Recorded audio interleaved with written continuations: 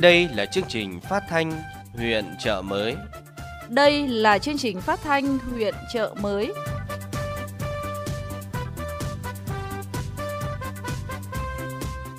Xin kính chào quý vị thính giả. Rất vui được đồng hành cùng quý vị thính giả trong chương trình phát thanh của huyện chợ mới.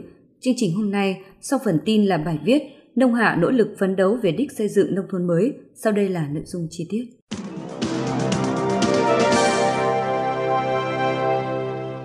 Sáng ngày 30 tháng 11, tỉnh ủy Bắc Cạn tổ chức hội nghị trực tuyến học tập quán triệt, triển khai thực hiện các nghị quyết, chỉ thị, kết luận của Trung ương và của tỉnh.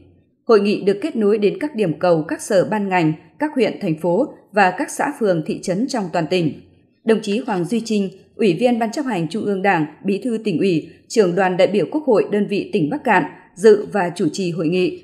Tham dự tại điểm cầu huyện Trợ Mới có các đồng chí ủy viên Ban Thường vụ huyện ủy, Ban chấp hành Đảng bộ huyện, trưởng phó các ban ngành, mặt trận Tổ quốc và các đoàn thể, các đồng chí phó ban chuyên trách Hội đồng Nhân dân, lãnh đạo các cơ quan của tỉnh đóng trên địa bàn huyện, báo cáo viên cấp huyện, cán bộ công chức viên chức các ban xây dựng đảng, văn phòng huyện ủy, trung tâm chính trị huyện. Tại hội nghị, các đại biểu đã được nghe thông báo số 20 ngày 8 tháng 9 năm 2022 của Bộ Chính trị về chủ trương bố trí công tác đối với cán bộ thuộc diện Bộ Chính trị, Ban Bí thư quản lý sau khi bị kỷ luật – quy định số 845 ngày 25 tháng 10 năm 2022 của Ban Thường vụ tỉnh ủy về việc bố trí công tác đối với cán bộ, công chức, viên chức, lãnh đạo quản lý sau khi bị kỷ luật. Chỉ thị số 24 ngày 14 tháng 11 năm 2022 của Ban Thường vụ tỉnh ủy về tăng cường sự lãnh đạo của Đảng đối với việc triển khai các nhiệm vụ khoa học và công nghệ trên địa bàn tỉnh và 11 nội dung khác về các thông báo, quy định, chỉ thị, kết luận, nghị quyết mới ban hành của Trung ương của tỉnh từ tháng 9 đến tháng 11 năm 2022. Để việc triển khai các nghị quyết chỉ thị kết luận của Trung ương và của tỉnh đạt kết quả cao, ngay sau hội nghị này, huyện trợ mới khẩn trương cụ thể hóa, vận dụng sáng tạo những quan điểm chủ trương của Đảng, của tỉnh, đảm bảo phù hợp với tình hình thực tế tại địa phương.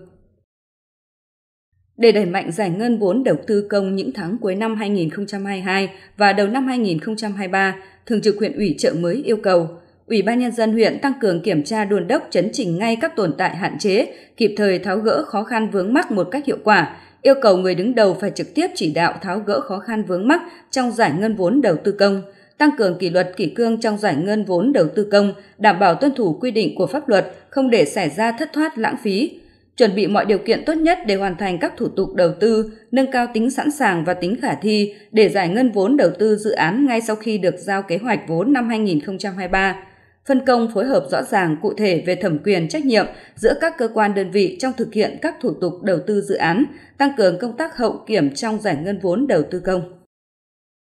Năm 2022, trên địa bàn huyện Trợ Mới có 27 đơn vị doanh nghiệp được công nhận đạt tiêu chuẩn an toàn về an ninh trật tự. Trong đó có 11 đơn vị thuộc khối xã thị trấn, một doanh nghiệp tư nhân Huấn Hòa và một cơ sở giáo dục là trường Trung học phổ thông Yên Hân, còn lại là thuộc khối cơ quan huyện quản lý và một số ngành dọc đóng trên địa bàn. Để được công nhận an toàn về an ninh trật tự, các xã thị trấn, cơ quan doanh nghiệp, cơ sở giáo dục phải đạt được các tiêu chí mà thông tư số 124 năm 2021 của Bộ Công an ban hành kết quả công nhận an toàn về an ninh trật tự là căn cứ đánh giá xét khen thưởng hàng năm về phong trào toàn dân bảo vệ an ninh Tổ quốc, xét khen thưởng công nhận các danh hiệu có liên quan đến an ninh trật tự. Năm 2022, trên địa bàn huyện Trợ Mới xảy ra hạn hán và 9 đợt mưa lốc làm ảnh hưởng đến nhà cửa, hoa màu của nhân dân, ước tổng thiệt hại do lụt bão gây ra khoảng gần 10 tỷ đồng.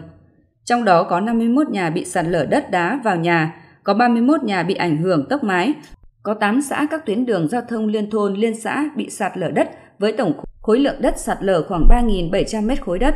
Ngoài ra còn thiệt hại về thủy lợi, trường học và một người bị chết do nước cuốn trôi.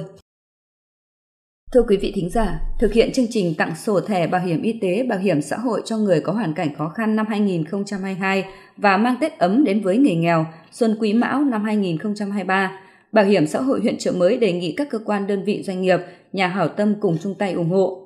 Thời gian nhận đăng ký hỗ trợ tặng thẻ bảo hiểm y tế từ nay đến hết ngày 30 tháng 11 năm 2022. Thời gian nhận đăng ký hỗ trợ tặng sổ bảo hiểm xã hội đến hết ngày 25 tháng 12 năm 2022 qua chương trình này nhằm giúp đỡ các hộ nghèo, người có hoàn cảnh khó khăn, yếu thế tham gia và thụ hưởng bảo hiểm y tế, bảo hiểm xã hội, góp phần thực hiện tốt chính sách an sinh xã hội và giảm nghèo bền vững trên địa bàn huyện. Nhằm giảm tai nạn giao thông trong các tháng cuối năm 2022, huyện Trợ Mới chỉ đạo các ngành chức năng tăng cường các biện pháp bảo đảm trật tự an toàn giao thông trên địa bàn.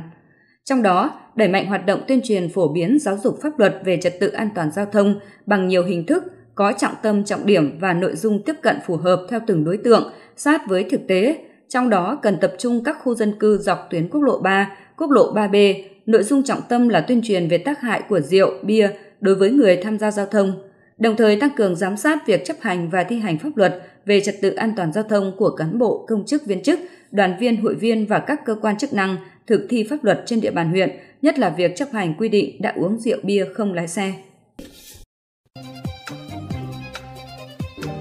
Mục Thông tin quảng cáo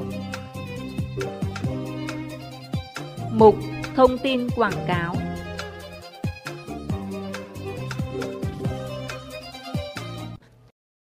Xuân sang Tết đến, lộc phát ngập tràn, kính chúc muôn nơi ấm êm viên mãn. Muôn vàng tài lộc cùng Tết Honda triệu lời cảm ơn, quà khủng Tết lớn. Cảm ơn Việt Nam, Honda tri ân khách hàng. Từ nay đến 21 tháng 1 2023, mua xe Honda để có cơ hội trúng 99 giải đặc biệt SH350i, 999 giải nhất Vision. Tặng ngay điện thoại Samsung Galaxy A04s khi mua Winner X. Thẻ điện thoại 600.000 đồng khi mua Way Alpha Blade Vision, trả góp lãi suất thấp chỉ từ 0,79% một tháng. Triệu lời cảm ơn. Quà khủng Tết lớn, Hãy đến hết ngay. Xuân sang Tết đến, lộc phát ngập tràn, kính chúc muôn nơi ấm êm viên mãn. Muôn vàng tài lộc cùng Tết Honda triệu lời cảm ơn, quà khủng Tết lớn. Cảm ơn Việt Nam, Honda tri ân khách hàng. Từ nay đến 21 tháng 1 2023, mua xe Honda để có cơ hội trúng 99 giải đặc biệt SH350i, 999 giải nhất Vision. Tặng ngay điện thoại Samsung Galaxy A04s khi mua Winner X. Thẻ điện thoại 600.000 đồng khi mua Way Alpha Blade Vision, trả góp lãi suất thấp chỉ từ 0,79% một tháng. Triệu lời cảm ơn. Quà khủng Tết lớn, Hãy đến hết ngay. Quý vị vừa nghe xong chương trình phát thanh của huyện Trợ Mới. Cảm ơn sự chú ý lắng nghe của quý vị thính giả. Xin chào và hẹn gặp lại. Radio AD, thông điệp từ âm thanh. Hotline 0989 612 668. Truy cập website www.radiovietnam.com.vn để biết thêm chi tiết.